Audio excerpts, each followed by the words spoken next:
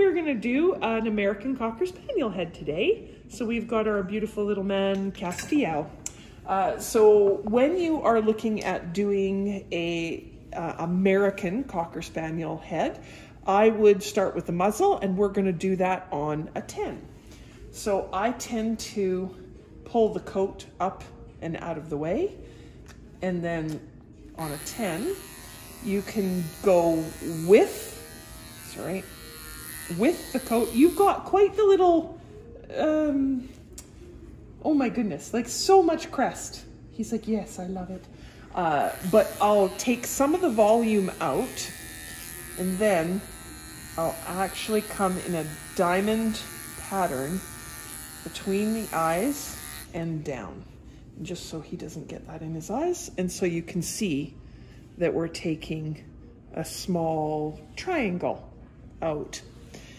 Then again, we're still on the 10, and now we're gonna go with. Okay? And then we can pull his mush mush, his lips taut.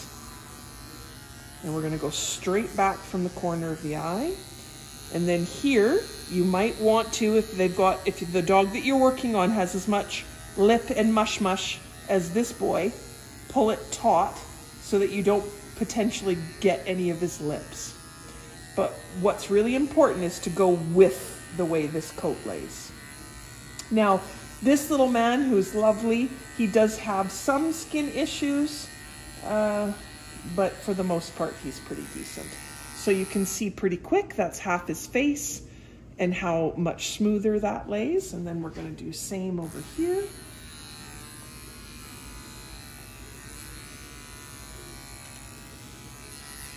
So.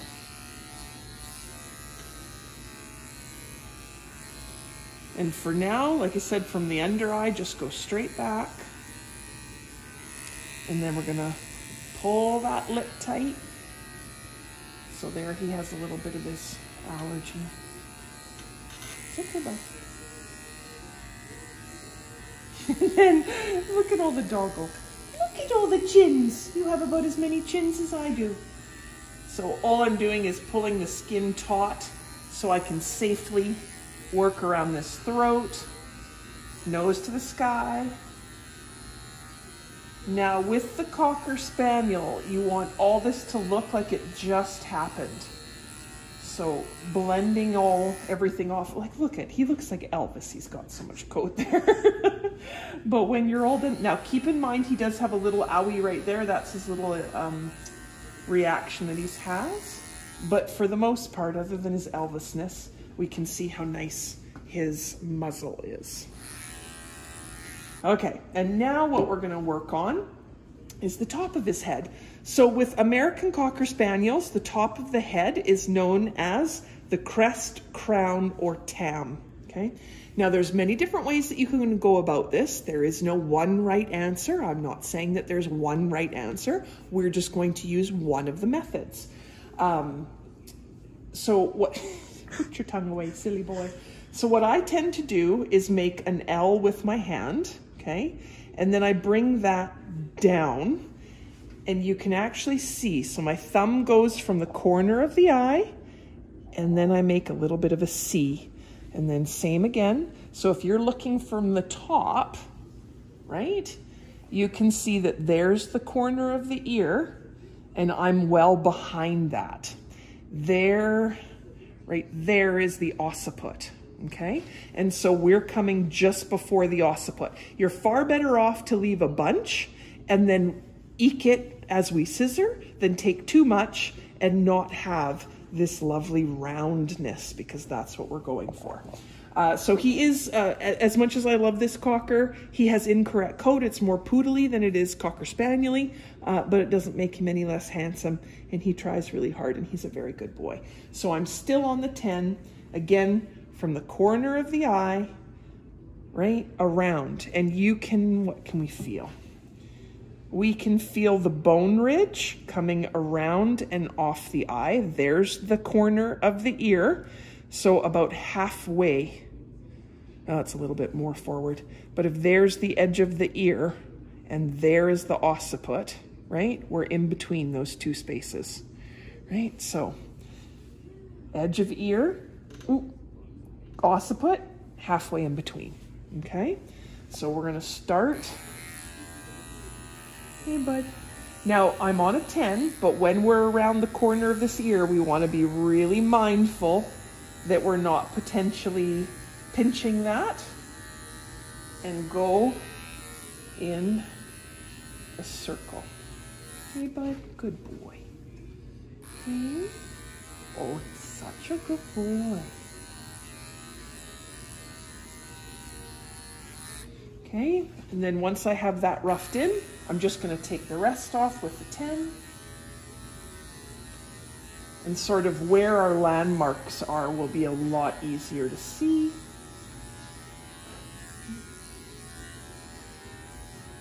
Now his body was done with a seven, but so now, okay, hang on, bud. So my fingers are pointing at the corner of the ears, and there's his occiput. So you can see the round, right? So from the corner of the eye, around, right? And that's gonna help us get this lovely crest going on. I am gonna clean up a little bit right there. Oh yes, that's the, that's the moose, moosey boy. Okay, so that's how we start there. Then what ends up being really easy, we also have to do the clippering of the ears, uh, but let's finish this off just so that you can see it, is that, okay, if we look at it from, well, let's look at it from this way. Let's start with our scissors at an angle, about 45 off the stop, okay? And we're gonna follow that around at that angle, okay? And all we're trying to do is kind of like look at that mop top that he's got going on there. I know you're very handsome. Don't don't think that I'm not saying you're handsome, but he's crazy. You got a lot going on. Like if we comb this up, like seriously, I think that you're. It's just crazy. So what we're gonna do, you can start to see from the side. We're going for this round to help with his, like just to really show off his skull.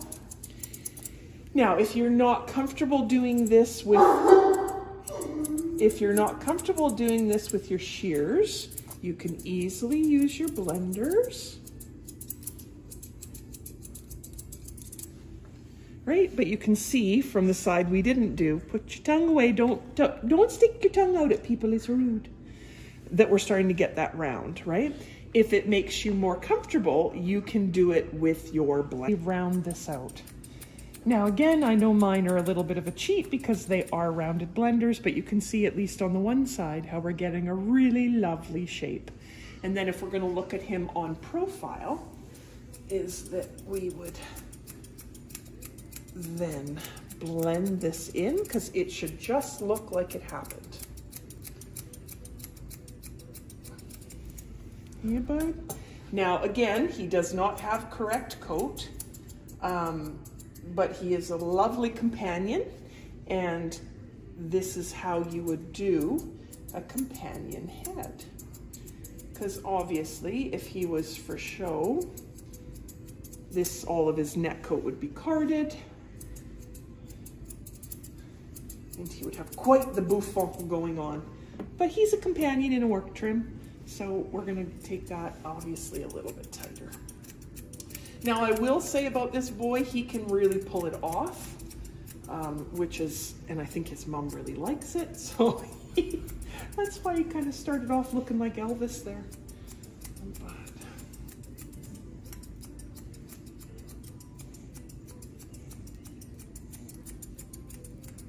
But you can see how quickly that all comes together.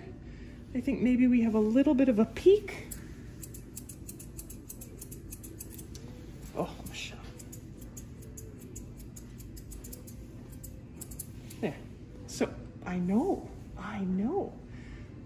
So, right, at least he has that. And then now we can finish and do his ears. so when it is about Cocker Spaniel ears, hello son. What I am gonna do is just pull up a little bit, mostly so he doesn't isn't silly. Okay, so when we're looking at Cocker Spaniel ears, now we did have to take his ears down because they were quite matted before, so we're in the midst of growing these out. But uh, the great thing is, is that it's kind of hard to see the pattern, so we can show you sort of from scratch. Now here is the edge of the ear leather, and see how it naturally bends back. Well, the end of that bend is what we're going to do all of our lines to. Now, this, what the blade that you use when doing an American Cocker Spaniel's ear set is going to depend on the pigment that they have. Now, his pigment is considered self-colored or brown, uh, so he can pull it off a little bit more. So for him, we're probably gonna go at about a 20. But if you had a buff, uh, so a blonde cocker, and maybe they didn't have the best pigment underneath, you might want to stick to a 10. It does not matter if you go with or against, as long as it gets done and it's done safely.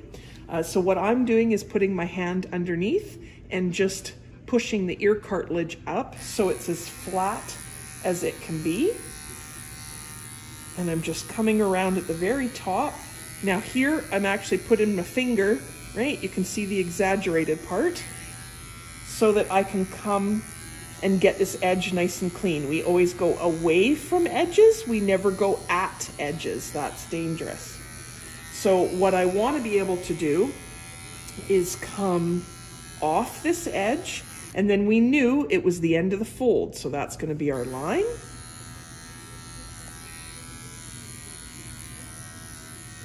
Right? Then what I'm going to do is flip that over and I've swapped over to a 30 because it's on the inside of the ear. And do you see how I'm rolling that into my own hand? So if anything is going to get bit by clippers, it's going to be me, not the dog. And then that's how one of the ways that you can get a really nice edge. Then what we also want to do, just because it's a cocker, get all this near the pinna cleaned up. Right? That's the pinna which just means edge of ear. Now I'm gonna pop back over to a 20-ish.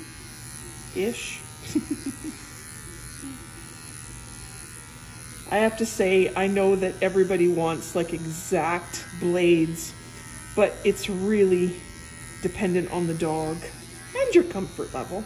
So do you see how very quickly, even though we've just roughed all this in, we now can see where the edge of that ear goes.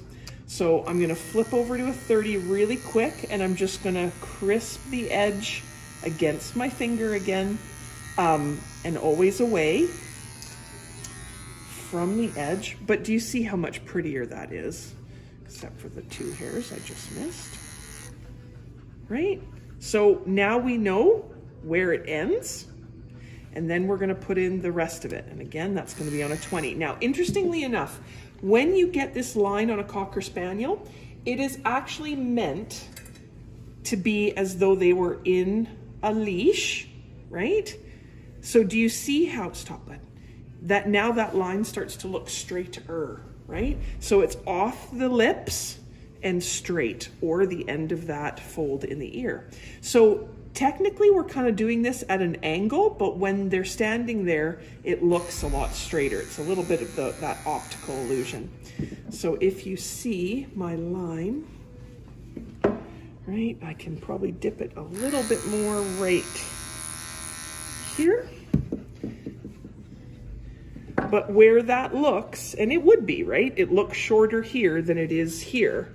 But if he was standing, it levels out and that's what we're going for. Now back in the day, interesting little fun fact, we used to put a little V in here because as their ear folds right there, we would put a little V because it made it look nicer, but that's going on a favor. But if you see somebody doing it, they're not wrong. It's just an older uh, fashion trend because you have to remember everything with dog grooming is a fashion. Um, like, yes, we have things that we do to make it practical, but there's so much that changes in our industry from year to year, depending on sort of what catches favor. Now, having anything uh, out of place, we don't want. So I'm gonna go over to a 10 so that I can lean into the seven blade that we used on the jacket. And again, all of this we want lovely and clean. We want it to look like it just happened. Hey, bud. Because anything out of place is just not going to look good, right? So all of that is cleaned up. Oh, except for all your extra skin. Hey, bud. I know. We're just gonna, we're just gonna glance over that. Nobody'll know, son. There we go. So handsome, right? So you can see how that lays.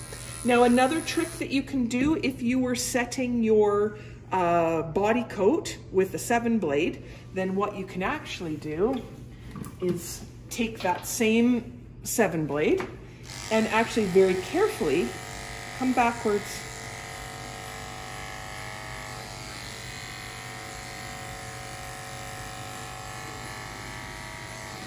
And you get a lovely blend doing that as well. Um, some people are very nervous about a seven blade, so it's just whatever makes you most comfortable. But that, very quickly, is how you would do cocker ears and head. Just don't look at that one, we haven't done it yet. and look at that handsome boy. Oh, he's very good. I know, you're a very good boy.